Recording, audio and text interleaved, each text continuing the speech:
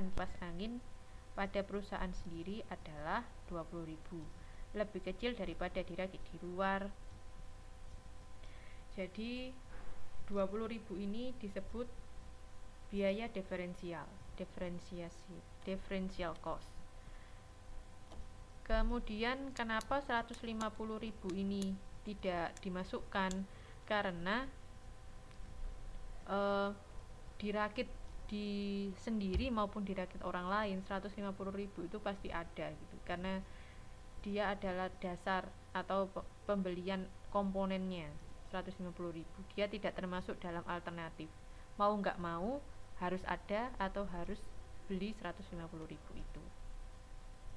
Gitu teman-teman. Kemudian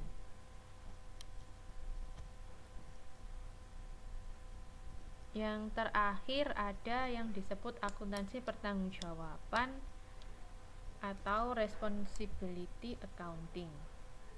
Ini merupakan informasi mengenai perbandingan antara anggaran dan pelaksanaan. Contohnya ini ada di tabel 1.4 laporan pendapatan dan biaya departemen-departemen pembantu. Di sini budget atau anggaran itu kita lihat bisa 12 juta 500 dan seterusnya. Realisasinya segitu.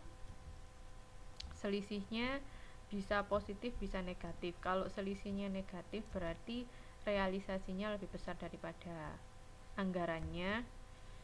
Maka bisa dikatakan rugi misalnya seperti itu. Dan sebaliknya. Itu yang disebut akuntansi pertanggungjawaban antara budget dan realisasi. Ini nanti akan kita bahas lebih lanjut di modul 2. Hanya hmm, akan lebih terinci apakah anggaran itu, anggaran itu ada beberapa macam nanti akan dibahas di modul 2. Sudah selesai teman-teman. Sampai di sini ada yang ditanyakan? Modul 1 alhamdulillah sudah selesai.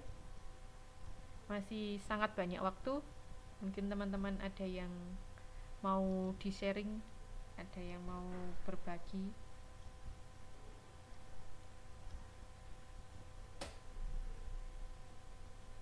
Halo.